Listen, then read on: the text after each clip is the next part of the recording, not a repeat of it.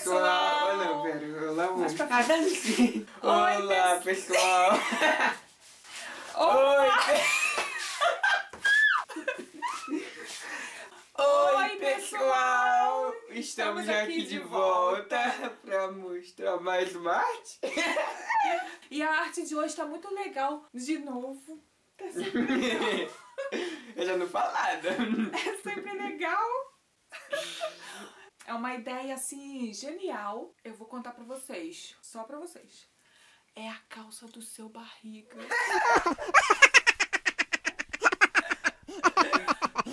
Mostra pra eles. Aí. Ai, gambiarra doidona, Eu tô né? tampando aqui, ó. A lâmpada pra ver se, se tira um pouco do brilho. Olha aí, gente. É a calça do seu barriga. É bem gordinho, né? Ou então de quem? Do Bolinha, da turma, da Luluzinha, né? É. Do Nhonho. É a calça do Nhonho.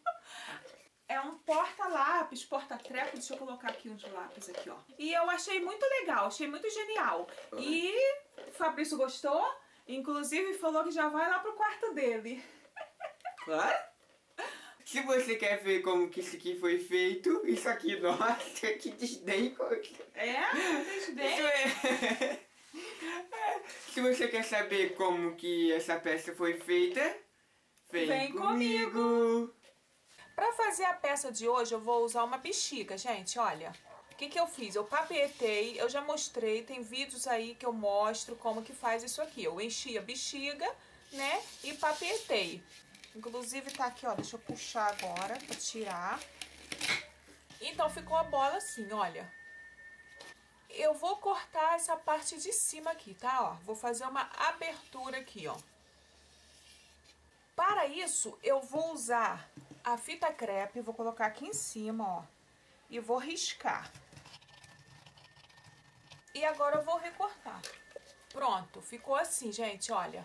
Eu vou usar isso aqui, ó, é rolo de papel higiênico, que eu vou colocar aqui.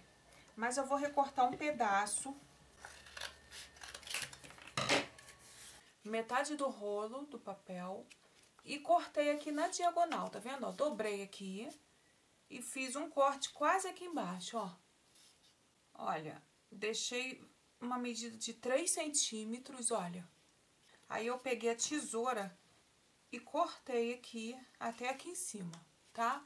Então, ficou assim, tá? Fiz nos dois a mesma coisa. Isso é pra quê, gente? Que é pra fazer o encaixe aqui.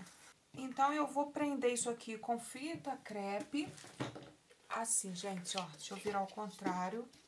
Vou prender aqui com a fita crepe, ó. Pronto, gente, eu prendi com fita. Ficou assim, olha. Então, agora eu vou papietar isso aqui. Vou usar o grude, como sempre. E também, gente, vou encher de jornal aqui dentro, tá? Ó.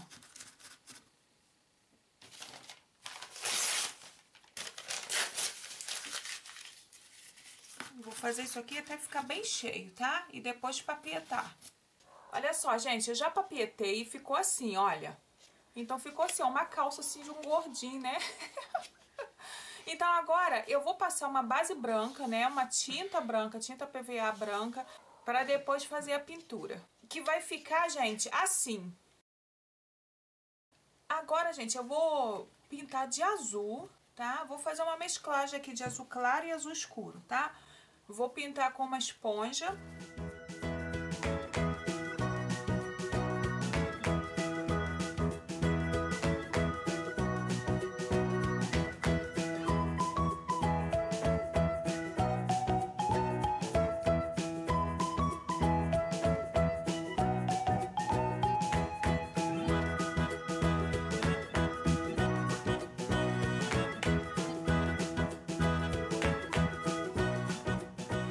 Usar o pincel chanfrado e vou sombrear aqui. Vou começar aqui embaixo.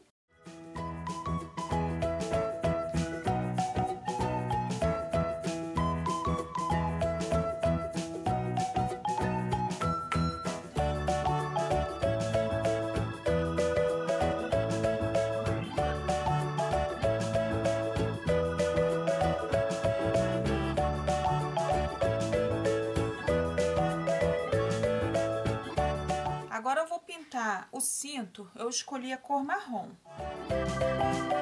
Enquanto seca o cinto, gente, eu vou fazer as costuras da calça. Toda essa parte onde está sombreado, eu vou usar tinta branca e vou fazer as costurinhas. Aqui bem em cima aqui do, do sombreado, ó, eu vou puxar os tracinhos, olha. Vou fazer isso na, na, na calça todinha. Vou fazer duas vezes, tá? Vou vir aqui, vou vir do lado aqui e vou fazer novamente, ó. Olha só, pessoal, como que tá ficando, ó. Já fiz todas as costurinhas, olha. Na frente ficou assim e atrás assim, tá bom? Então, agora eu vou fazer a fivela do cinto. Nada mais do que um quadrado, gente, apenas isso. Deixa eu virar aqui pra mim. Vou riscar com lápis pra depois pintar, tá bom? Eu vou riscar, ó, só tô fazendo um quadrado, ó. Aqui vai ficar a fivela, olha. Deixa eu virar aqui. Deixa eu ver se dá pra ver aqui, ó. E vou fazer um outro quadrado por dentro aqui, ó. E também eu vou fazer aqueles passadores aqui do cinto, olha. Vou riscar aqui com lápis até cá em cima e outro aqui. Isso aqui, olha, gente, ó. Isso aqui eu vou pintar de azul da cor da calça, que é o passador da calça. Olha, gente, eu sombreei aqui, ó, pra fazer o finalzinho do cinto. Aí eu tô usando o cabo do pincel e tô fazendo essas bolinhas aqui, para parecer que é o buraco, né, do cinto. Bom, pessoal, já terminei de pintar e ficou assim, ó. Eu resolvi passar, aqui onde eu passei a cor cinza, na fivela, eu resolvi passar uma tinta prateada, tá? Que aí ficou essa cor assim, ficou cromado, né? Parecendo melhor assim com uma fivela. Então, olha, a peça está pronta, só vou deixar secar. Então, agora só falta invernizar, tá bom? Eu vou passar duas demãos de verniz e deixar secar. Prontinho, já invernizei duas demãos de verniz, como eu já falei, ficou assim, olha.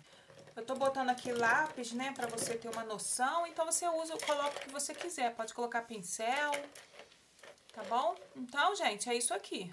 Tá prontinho o, esse porta-treco. e aí, pessoal, gostaram? Ah, eu sempre pergunto porque eu gosto de saber a opinião de vocês, eu gosto de ler o comentário de vocês, né? O que, que vocês estão achando aí das peças que eu faço. Viu como é bem facinho? Então é isso, gente. Então aproveite aí mais essa ideia e faça as calças de vocês. essa foi boa. Sinto muito por, por essa piada horrível. Se você gostou, deixa o like, compartilha o vídeo, mandando pra todo mundo que você conhece ou pra quem você acha que vai gostar dessa peça linda aqui. Muito obrigada por estar aqui com a gente até agora e até o próximo vídeo. Tchau! Tchau. Eu escrevi, né?